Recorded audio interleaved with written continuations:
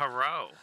All right, so we could finally get to some deck building today. I have something else that we got to do first, but and it might take a little while just because you know this set, but uh, there's definitely some commanders people want us to get to. I think that there are like four people that are building the Teamer Dragon at our shop, and there are four people that are building Raggadragga, the untappy dude.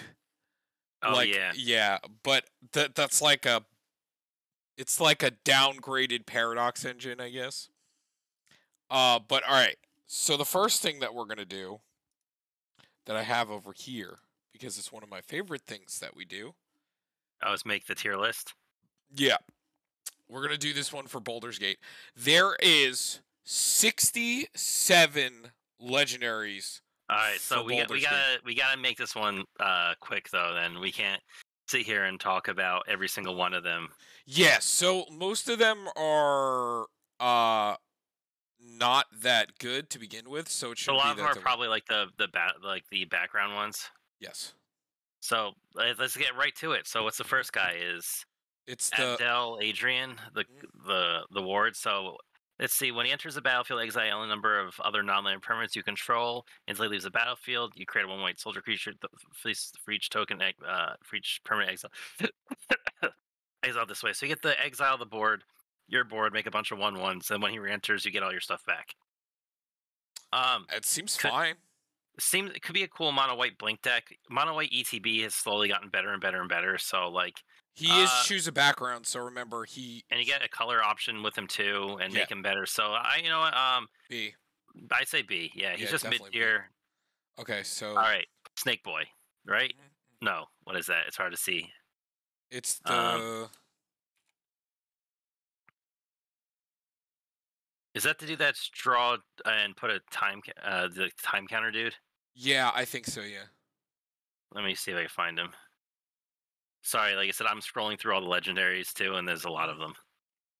Yeah, there's so many. Uh, yeah, he's the tap draw card, then exile something with a uh with Also, of I had to switch. I had to switch websites because the other one required a Twitter account, and I deleted mine. So, Ah. uh, I I had to use this one, and it doesn't let you swap to portrait. So, like a lot of the stuff gets cut off on this one. But That's this, fine. yeah. So it's Alon- Alaundo the Seer. Draw a card, then exile a card from your hand with a number of time counters on it equal to its mana value.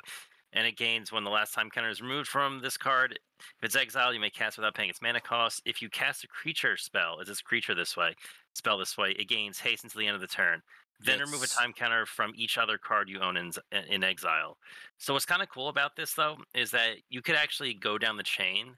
So like, say you did like an, uh, a five drop, a four drop, a three drop, a two drop, and like or whatever, and then you hit like a one drop and one. You could basically cycle all of them down. It'll because if I'm reading reading this right, it says then remove a time counter from each other card you own in exile.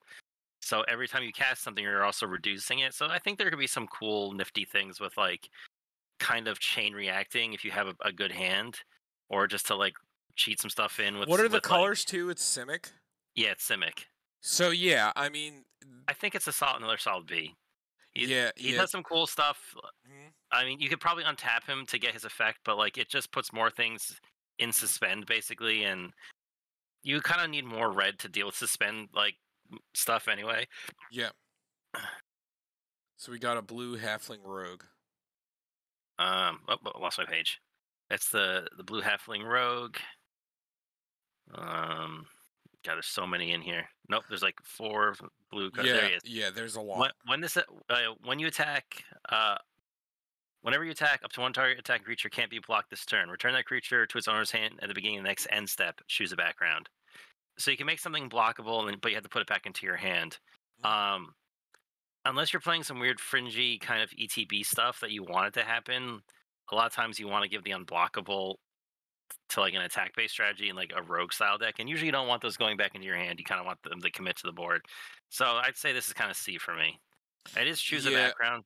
No, no, I, I I agree. I don't like the bouncing. I don't think I don't think one creature getting unblockable a turn would have been that bad. Uh Yeah.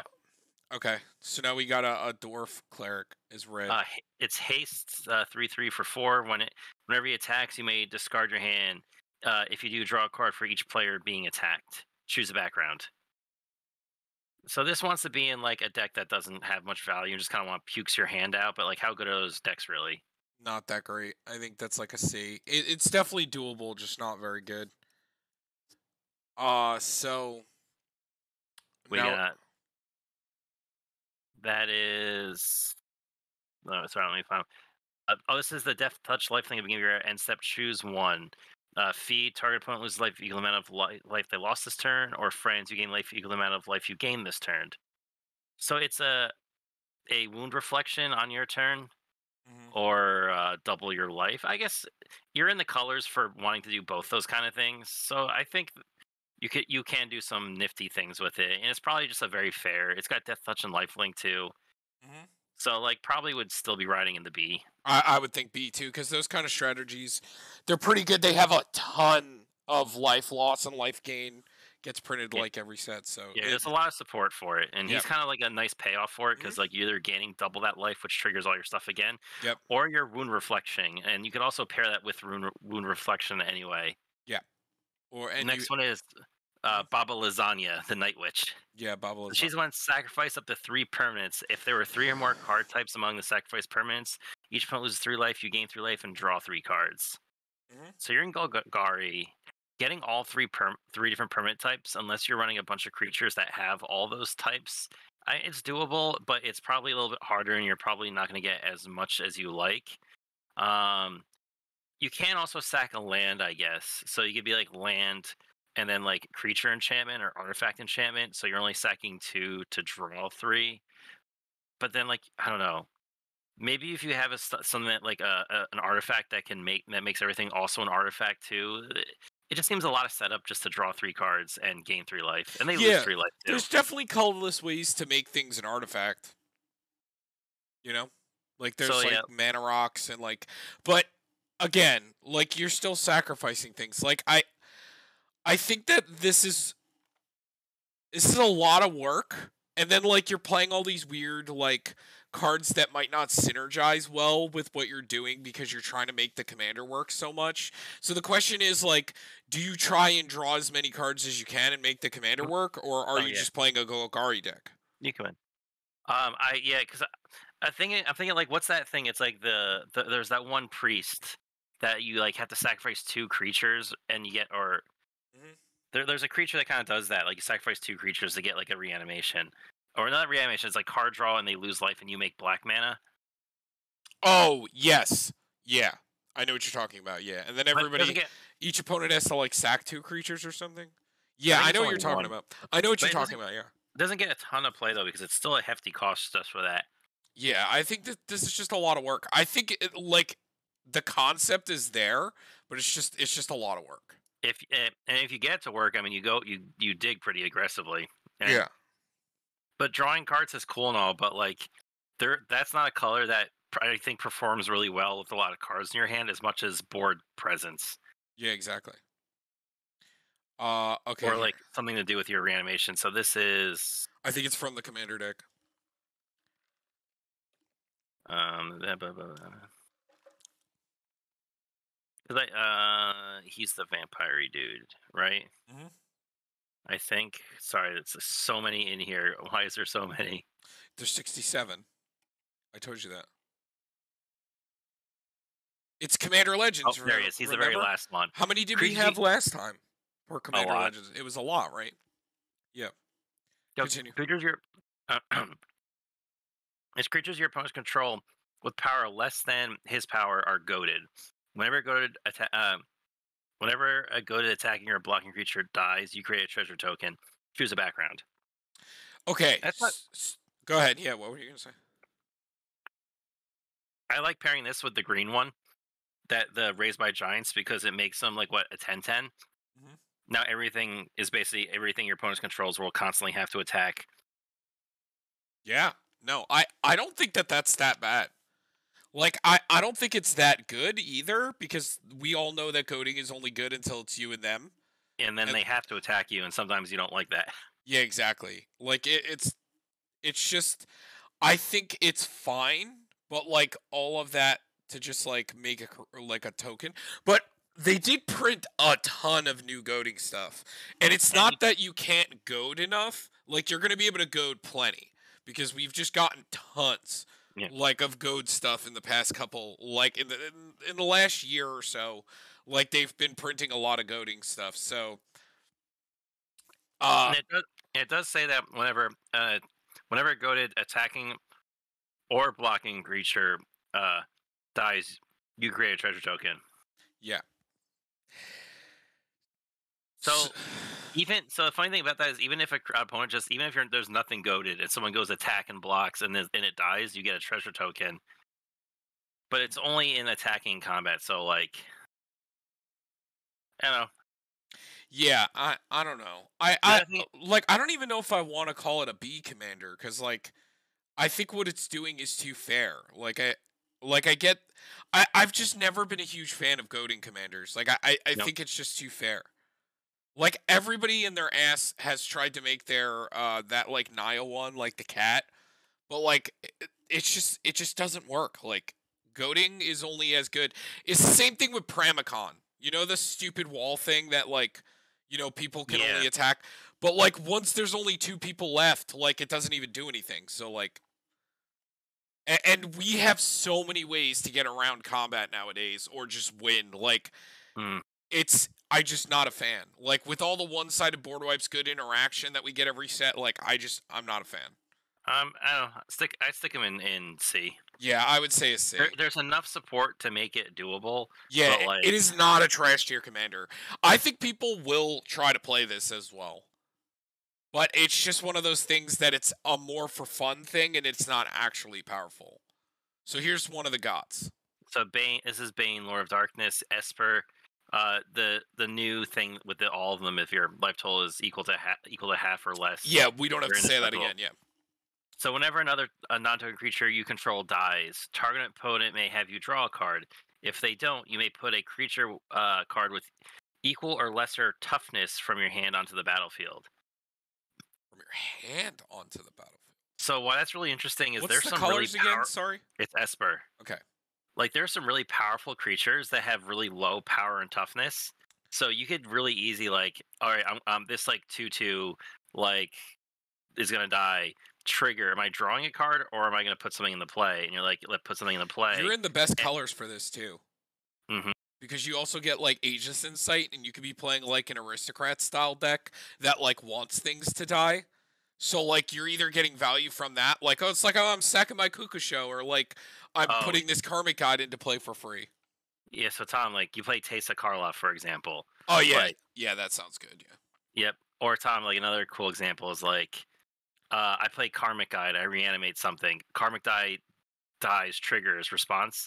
I get put in like a Mulldrifter because it's only two mana, uh, two toughness, Mhm. or like a Solemn Simulacrum because it's only two toughness. I guess the only Or- thing holding it back is Um, that you could just let them draw a card a lot of the time. Yeah, but then draw. You're constantly drawing. But like Agent of Treachery only has three toughness, Yeah.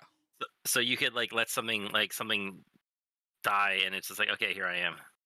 So it's hard for me to put this in A because it's not like uh this No. isn't like Aetherios where it's like you're losing life, so eventually you have to give it to them. A lot of the time they're just gonna let you draw, and at the normal level of commander, a draw is usually okay. So like I it's I feel like it might be like the top of B or pushing like an A minus or something. Yeah, I think it's doable. It, it's another one of those commanders that requires a lot of setup and a good hand. But the thing is, he is always drawing you cards to help get that. yeah, it's not bad. It's it's not that the effect is bad. I think it's just a nifty aristocrats build that, like, once every time something dies, you could either draw or cheat something in. So you just imagine it. Oh, as, you know like, what? Even just as the concept of you're drawing every time. Yeah. Yeah. No, that's an A tier. That's definitely A tier. Yeah, I guess that- the one thing comes into if someone says, "Okay, you could put something in your hand in the per play." turn. No, uh, no. It's just when, uh, whenever another creature you control dies. Now you do get in this weird spot where, like, say a creature dies and someone says, "I don't want you to draw a card. Put something in the play," and then you put nothing in the play for that creature. But I guess it depends what what creatures' toughnesses are. So like maybe your one drop didn't cheat anything in, but maybe your thing with four toughness can. So like, it depends. Like it plays a lot of unknown and mystery. And it's kind of really cool because Bane, Lord of Darkness. So like your opponents are in the dark and they don't know what you're gonna do and what you're gonna put in or what. So that's it's nifty. I think yeah. I think there's definitely something doable. And at worst, you're playing an Orzhov aristocrat deck and you get to splash blue in it. Yeah, How- I, how I, I think I think it has I think it has potential for sure. Uh, so this is Bhaal, Lord of Murder. This is whenever another the other god, whenever another non-token creature you control dies, put a plus one counter on target creature, and then goad it. I'm not. I'm not. A f- I think this I falls. feel like- I feel like this falls yeah. here. yeah. Yeah. Honestly, the only thing it's I think you shunned. wanted. It's shunned, right? Yeah. Okay. Oh, you know what this does do though? Um, it's a uh, a persist combo card Why? Oh, because one one count. because you you dump when you kill something, dump the put the counter on the thing with persist, and then it loses its uh plus the minus one counter. So if then it dies, and then you could do a counter on something else, and Okay, so then that's that is that is better. so yeah, it's basically the same thing. It's probably like a self-sacking aristocrat deck with like the plus one counter working with persist instead of uh undying with like uh uh with Yawgmoth. And there is a lot of persist things in those colors, right? Mm-hmm. And your Murderous Red Cap is in in this sets in that colors combo. It can put a so the- one one counter on anything. Yeah, any creature. Okay. And or if your opponents you really want them to attack with something. Okay, so, So, I think that's the the next one is that mythic dude. I, I know his effect. He's the he's all party types. It's funny the more you look at his armor and everything he has, you could see the little aspects of all of all of the creature Mhm. types he represents. Where is he? Uh, Burakos party leader. So four mana, two four. He is uh he is also he's always an orc, but he's also a cleric, rogue, warrior, and wizard. The ultimate multi-class. When he attacks, defending player loses X life, and you create X treasure tokens where X is the number of creatures in your party. You choose a background. So when you attack, you automatically make four. Oh no, no, sorry, he's one creature in the party. He just covers the whole party. That's what he mm-hmm. does. Okay. I think it's a C. Yeah. I, I It- like the whole party shenanigans. Like there are good He's- cards. He's also mono black, and Yeah. so with the background, you only get one other color. Yeah, so you're gonna struggle with that. Like so, it, he's he's not the worst card in the world. Like not the worst commander we've ever read. Okay, what's this one? Uh, let me find him. Uh, Caller of the Small. Oh, this is a three mana three three trample. Whenever uh the small deals combat damage to a player, for each token you control, create a one one white rabbit creature token. Oh no, that's actually pretty good. Yeah, so you just want to. Uh, I already see there's a bunch of people brewing her already. Uh, You just want all like the t- token generations shenanigans, and then you could like imagine her with like a Scute Swarm or something. Or we have that new card, the the Brack Zoologist, that draws you a card when you make a token this turn.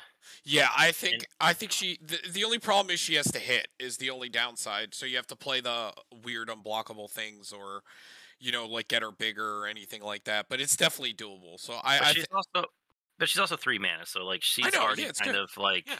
early in the early game. Yeah, it's. I think it's pretty good. I don't I don't think it's A, but it's it's definitely a strong B. Oh, this is the horror commander deck, dude. So he has uh, horrors have uh, menace. He's a three six for five.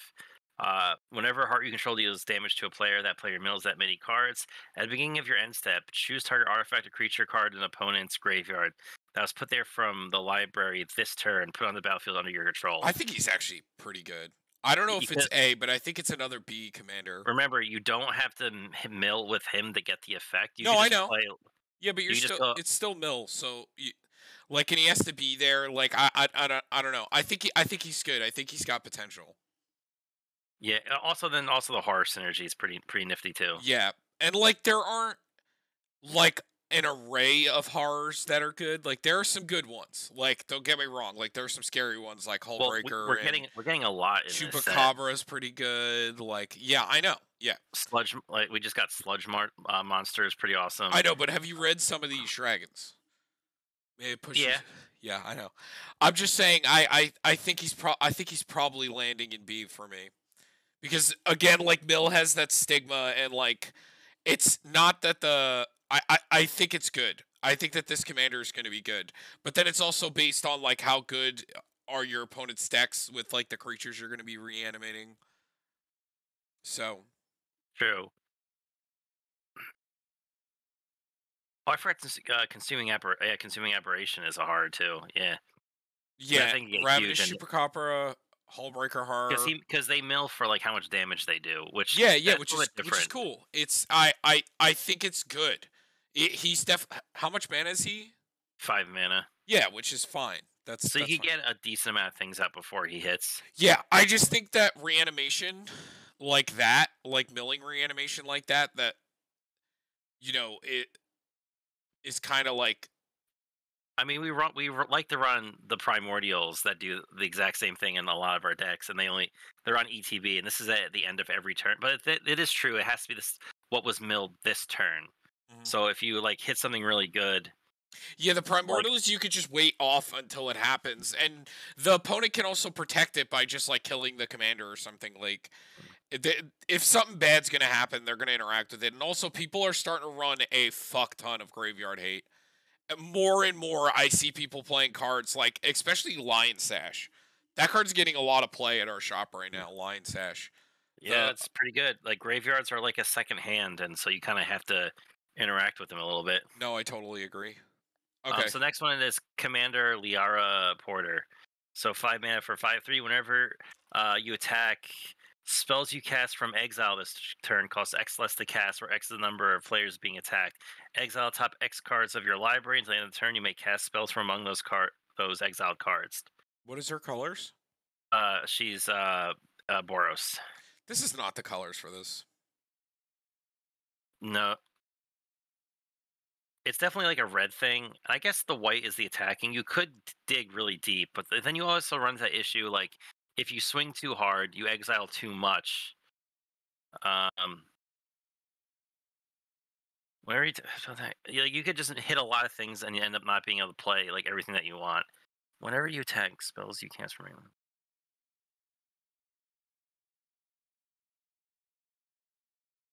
It's also another one of those effects that like it doesn't remember what was exiled previously. It's only was exiled this turn type things. It's a whole trigger. So if you hit something that you really want to play next turn, you you can't. You have to. It has to be whatever she hits. So I, I don't know. I I think it's. I don't like. I think it would have been better with like blue or something else, like an is it or Or if it just let you cast any card that's been exiled th- this way. So like maybe you exile something like five turns ago, and then it makes it does make them cost X less, but you still have to pay like the colors. yeah. Is this the myriad guy? Um, at the beginning, uh, yeah, beginning of combat on your turn, another target creature you control gains haste and myriad until the end of the turn. Yeah, that's pretty Myriad's good. pretty cool. Myriad's as a pretty as a commander though, I don't know, but as I, th- there's definitely some shit you could do with this, and because Boros is it Boros? and Boros? Boros is yeah, Boros is probably like the attacking color. Like they're they're the decks that care about attacking. Uh, I don't know. Green, green is in there too. It's definitely Well, Naya is the. well, green's got big like gr- big creatures that you care about, but I think Boros has more like when you attack with something, this happens. I don't know. Elder Gargaroth. There's definitely some things, but remember, Myriad doesn't work with attack triggers, so Oh yeah, true, right. it's it's just for copying. It's Well, better with for- ETBs, I guess yeah, ETBs are like combat triggers. So it's better Which- with like which- Goldspan what- Dragon, Sun White's Titan. a lot of those. Yeah, Sun Titan. No, uh. Goldspan's on, on attack. no, it's no, it's when it enter. Isn't it when it ends? No, it's when it attacks. Oh yeah, okay. Well, whatever. Uh, but like Terror, the peak seems kind of cool. Drop like three, like yeah, get two more of I'm those. I'm just saying if it was Naya, I think it would I would it, it would be a little better. But I I think it's still definitely got potential. I think it's a B tier easily. yeah, It's just the colors that are holding it back. Like and Well, that is I it. I don't think White holds back anymore. White's got so. I much know, I know. I know, I know, I know. But It's not not stuff not stuff that pairs with Myriad though. It's just good cards. I'm not saying that the colors are bad like bad anymore. It's just for what Myriad wants to be doing. I think if you had green it would change a bit. But I think a lot of the good stuff that's in white has been like ETB stuff or like and enchantments, but like creature based. I mean, I there just- is there is Gisela in these colors. That's a pretty good card. Mhm. Uh, no, there's definitely some stuff for sure. It's definitely. I think it's a strong B. I, don't- think it's an A. Yeah. A though. No, yeah, Yeah, I I'm, I'm just I'm just saying like it it's it's still limited. It's just one of those things. Mm. Uh, um, that's the guy of the uh the the bar dude of um yawning portal. Okay, there he is. So whenever uh, he has to choose a background, um, whenever uh, he attacks, look at the top four cards of your library. You may exile a creature card from among them. Put the rest in the bottom of your library in random order for as long as that card remains exiled. You may cast it. The spell has uh, Undaunted. It costs one less to cast for each of your That- uh, for each opponent. this is actually pretty good. That is actually kind of cool. He- So you And get to choose choose another background. color. So you can go Simic. You can go. You can go. Uh, literally, any color would really work with this. Honestly, and like then you just find the creature that you want, and then it usually is going to cost three less. three because- less. Yeah, Uh, that's Mm. no. I I think that that it's value. It's cheating. It's reduction of mana cost. I think it's pretty good. I think it's a B. I think it's, It's a, I think it's a B. Yeah, it's fair. It's it, it's hard to push up to like. I I mean, it's even an argument that this isn't even an A. You know, I said that this is like a strong A maybe- minus. Maybe we should know? just look at like comparatively for cards in the set compared to like all commander. But No, there's no, there's definitely some A and S tier commanders in here, Derek. We just have not gotten to Yeah. them. Like Mr. Um, Dragon so- Boy, Mr. Make Things into Hmm. Enchantments, Mr. Trust me. There's there's stuff in here. We just haven't gotten to it. But anyway, yeah. So the Invoker Adept, he's that's the four mana for four four with haste. You may activate abilities of other creatures you control as though they had haste, Mm-hmm. and then you get tap whenever whenever you activate an ability this turn by spending four more mana to activate it. Copy it. You may choose new targets for the copy. This sounds good. What So color? what color is it, Naya? it's Jeskai. Jeskai. Okay, so you don't get Thrasios. Uh, I'm just trying to think of like what, how you would play this. I guess like Walking Ballista activates for four, so that's kind of cute. But it's also cool. So things that have immediate tap abilities that you kind of want to use right away. So like uh like a really cool thing you do with her is like Fate Stitcher. ETB's tap to untap her immediately, then tap to activate her again. And then like play something like uh But I, if you were trying to storm off with creatures, this is not like you want. well not green. not storm, you're just like copying effects. And you like play a time stream navigator, which costs four mana, and you activate it, and now you have three activations of it. So you get uh three extra turns after this one. If you have the city's blessing. Um it's not bad. Halo Fountain also has activated abilities that cost higher the but it's just it's just, just you win the game, never mind. Yeah, Um, yeah. The higher one, you win the game. Yeah. Uh, but like, uh, oh yeah, I forgot. Our our Arcanus the Omnipotent is a haste effect that you can tap right away. It lets Mother Runes. It gives Mother Runes haste, which Yeah, is kind of nifty. Yeah, I just think like eh, this commander wanted to be in green, right?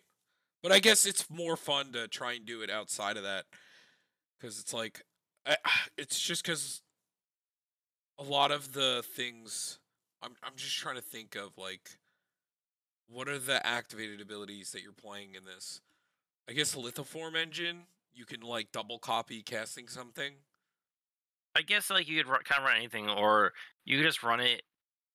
I guess you have to see because you're in a lot of like that's a really big color option like for activated like whether even maybe if you want to go like artifact creature shenanigans there's a lot of blue creatures that probably have like activated abilities that no one I really know. I have to think. I, I have to think about it. That's the thing. Like, it's not like coming to my mind immediately, and I'm sure that there's something there. But as it stands right now, I'd probably want to put it in B.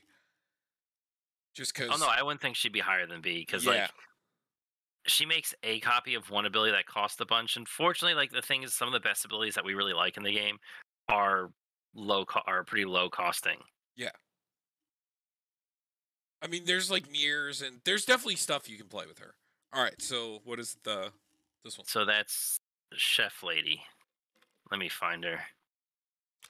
Um, She's a human peasant. how dare you? So tap, look at the top X cards of your library, where X is the number of tokens you created this turn. Put one of those cards in your hand, the rest of your bottom of your library in a random order. Choose a background. What do you think about this? Um, that just seems just.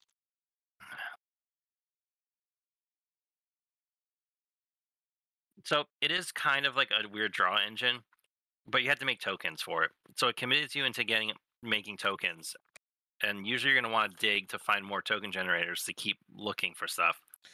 Yeah. And a lot of the time it's better for your commander to like be the token generator to like have the consistency. But in this regard, like she does look at a lot of cards depending on how many you've made.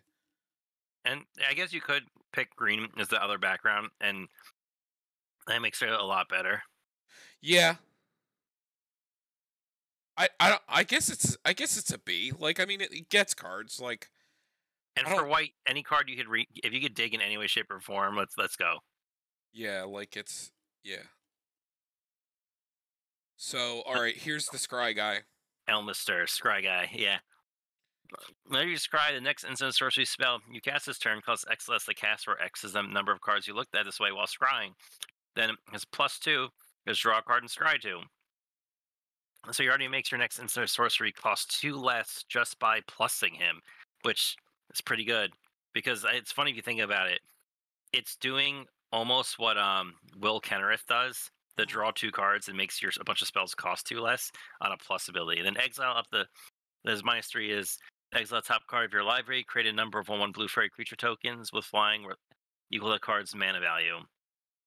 And you, I don't like exiling cards unless you really don't want to play them. Mhm. But just being like a spell slinger deck, because there's some really good like scry cards already out there. Yes. And being able to make, make make big spells costs way less with just like a simple like like mystical spe- mystical specula- speculation scry three then you plus them you scried five in one turn with one mana your next instant sorcery costs five mana less Yeah. No, he's he's definitely got some shit. oh oh tom tom tom tom. I just realized you plus Elminster right? Uh mystical speculation buyback two because it costs two less because you scryed two already? Uh mystic speculation will only ever cost one mana with the buyback so you could just buy it back for one blue. You cast it like two times. That's scry six cards buyback with only spending two mana plus the other two. So that's up to seven mana for two blue on scry cost already? Hmm. This might be a deck where like serum visions and like preordain and stuff like that becomes like really good Yeah, I feel like there's something here. and you're playing spell slingers and spells so like you're digging and you're finding other yeah, good just spells just missing the red, right? uh, don't have to be red Yeah, I know. It's just the red cards are so cracked. Like you miss the Storm Kiln Artist to like regenerate the value on like trying to loop that card. But like I I just think it's it seems it seems good to me. Because I mean we Mhm. have some stupid big spells that you could be casting.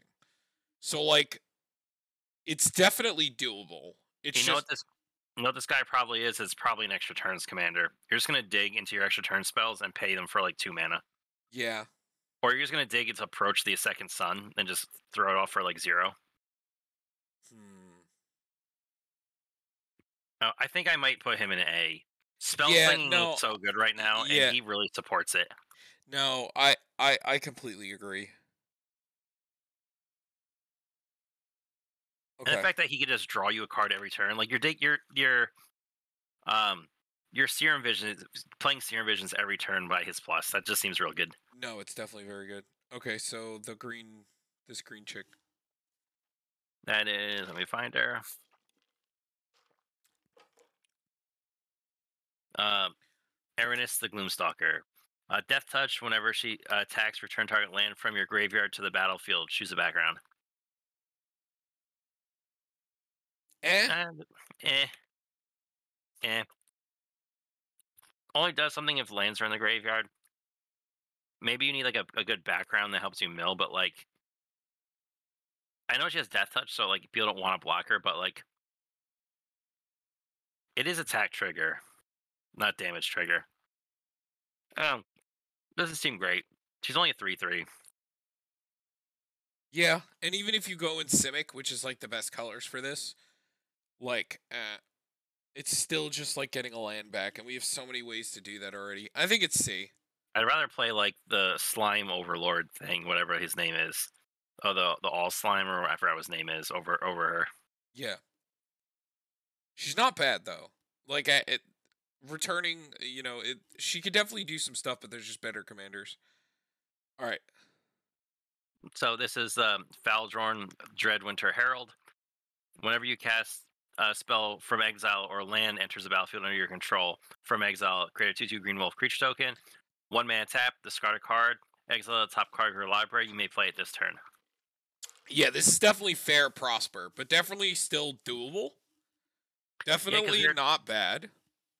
Because I remember we were talking about because she is in red, so you get all those really cool exiling off the top effects. Mhm. And, but the only payoff is you just make 2 2 green wolf. Yeah, which is nowhere near as good as making treasure like it is in prosper. But then I'm also thinking you go that way with wolves, you could also just slam down a Tovolar if you ever find it and be like, I'm going to draw a bazillion cards now. But yeah, Yeah, it's more No, fair. No, it's still a B for sure. Because y- the concept of your deck is card is card value. It's just card. Even though it's harder to pull off, you're in green. Like you're gonna have them. You can make the mana to cast the spells that you want to cast that turn, and she gives you a way to do it on her. So Mhm. like it it seems good to me. It's definitely just a more fair prosper. So here's the is it uh goad goad guy. Plays the flying haste 3 3. Whenever one or more dragons you control attacks an opponent, go target cre- uh, creature uh, that player controls. Whenever a creature deals combat damage to one of your, whenever a creature deals combat damage to one of your opponents, so that creature had to attack this combat, you put a plus one counter on on the dragon and you draw a card. So I think that this can potentially be very annoying. Because Yeah. we you only need red to build a dragon deck. We know that for a fact. Like Mhm. all the most important pieces are in red. Yes, there are broken dragons in other colors, but like the best of the best core dragon engine is red. Like colorless red. They just printed a bunch of new blue dragons like this one or like uh you know the ancient copper, ancient silver, like this thing like uh, we have tons of dragons like Niv Mizzet and for you to build like a dragon deck that is just gaining value and is a good deck and you still get to play the tribal cards. So like and now the Kindred Discoveries like a budget card now. You know, it's not like $40 or whatever it was getting to. Like I think that this deck to be an attacking deck and also get to goad things is so good. You also what I like about how it's worked. It's not like goaded forever. So you just you don't you could just target things that have like like you can play around it a lot better than I think the other other cards that goad everything. Mhm. Because at most, like if it gets to a situation where like if it's just you and the other opponent, you goad their smallest creature you don't care about, and then force it to attack you, and then you block it, or you don't block it, just let it deal the damage and take the two or whatever. And that way, like you don't, and then, then uh, So what's deals- the bottom effect again? Whenever a creature deals combat damage to one of your opponents, if that creature had to attack this combat, you put a plus one counter on him and draw a card. Yeah, so th- yeah, that's that's good. To me that's good. Yeah, I like this card. I like it I, think. I think it's pretty good. The question is is it A tier? You're playing oh. dragons with a built-in way to sort of give evasion and it draws and puts a counter. I don't know. There's a lot of goading mechanics too. Like there's Also, we had we also had Vengeful Ancestor was that other dragon thing yeah. That when it attacks uh, or enters, you go to creature. Whenever a go to creature attacks, it deals one damage to Oh its yeah, controller. vengeful answer. Yes. Yeah, that Which was so that yeah. that can build up time. We We also get to run uh, Iymrith, which is one of my favorite dragons that came out. That's the blue one that has ward four when you deal damage, draw a card. Yeah. So I I don't know, man. What do you think? It also has flying and haste, right? Wait a minute, I gotta read this thing real quick.